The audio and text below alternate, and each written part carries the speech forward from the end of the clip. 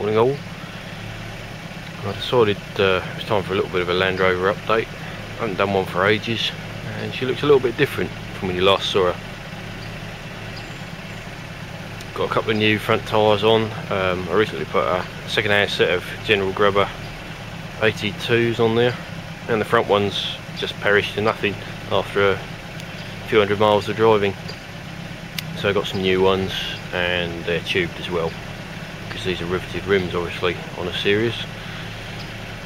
Um, but enough of that. I decided to change the roof for a hard top.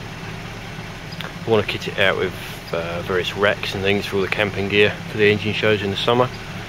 And I wanted the roof rack so I can put my ramps on. And in fact I just fitted that yesterday. And that should free up an enormous space in the load bay. Roof's seen better days and I've, I've had to spend a bit of time sealing it up because it was quite leaky. But it's reasonably dent free needs a few seals and that. But otherwise it's pretty good. Usual Land Rover condensation issues. But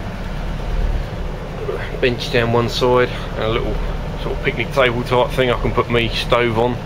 That's on the back door. Um, so you can sit with it up you can sit inside, fold the table up, or you can swing the door open and tie it back. Yeah, so quite pleased with that really.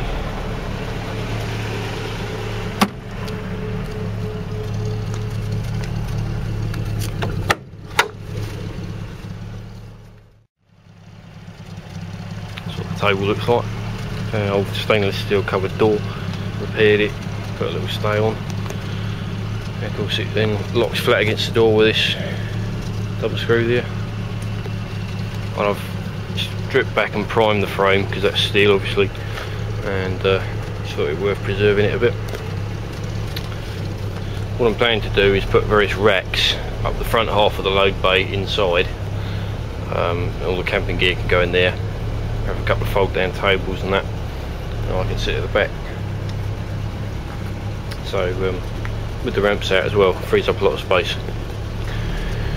With various brackets and things and we haven't got the correct mounting bolts for the roof yet but all in good time. Um, managed to make up some brackets for the back but we're gradually getting there. There's a bit of a swine to get the door to fit. Uh, I had to make another ball for that hinge so you've got a brass one in the top and there's stainless bolts. I've, I've drilled that out for M8 stainless bolts just to make it a bit stronger. And I've had to put a big copper shim in there as you can see to make it latch properly. But um, all in all quite pleased with it. The roof bars just clamp on the gutter